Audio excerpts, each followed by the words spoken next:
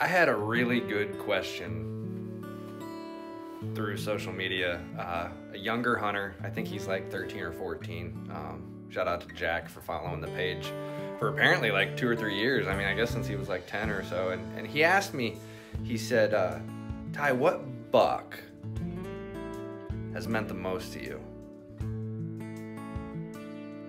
I was like, that's a really, that's a really good question. Um, there's a lot of different answers that I could give. And you know, a lot of people are going to go to Cicero because he's my biggest.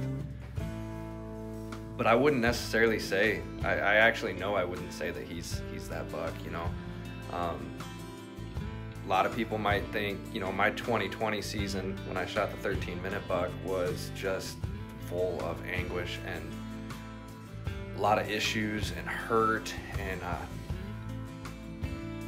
I think that was one of the years I lost all those trail cameras. People were trespassing. It was just full of a ton of stuff. And then, and then there's the buck, Junior, who his story isn't just his story. His story also includes the story of RD, which is why he was called Junior, which was like a four-year endeavor, and uh, that that that that deer jumped out in my mind.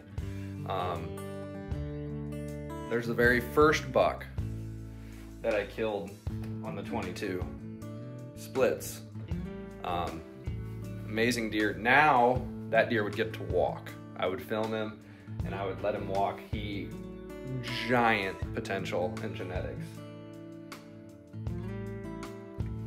I, some people would probably think it might be the very first buck I killed, which I end up using this video, I'll throw it up here, but it was the very first year. That's actually at my work office.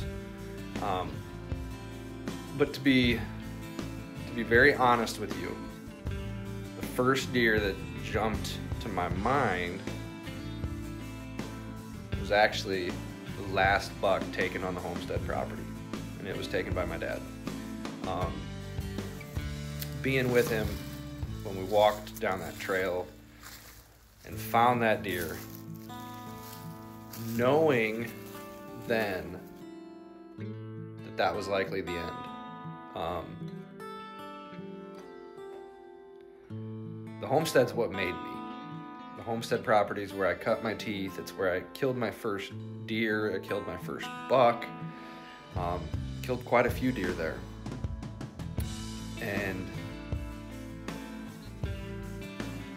that deer jumped out to my mind because it was my, my dad got to put the cherry on the top of that property. And I felt for so long my dad had always taken the back seat. He'd always let me go and hunt, and then he had taken what was left and things of that nature. Um, if I wanted to hunt and there was only one stand for a good win, he found an excuse. I know he did to not hunt. So then I could go. And it was really awesome that he got to experience the last buck taken by either of us on the homestead. So, Jack, I think that was an amazing question. That is exactly what my answer is. Um, it's not even a buck of my own, but it's a buck that I was part of. And uh, me and Pops hunt as one, as I've said. So his success is my success, my success is his success. And that's your answer. God bless.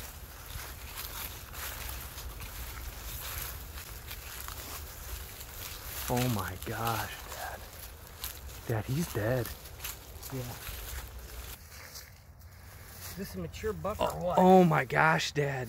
He's been dead a long time. Yeah, he's stiff. He's a nine. Nine.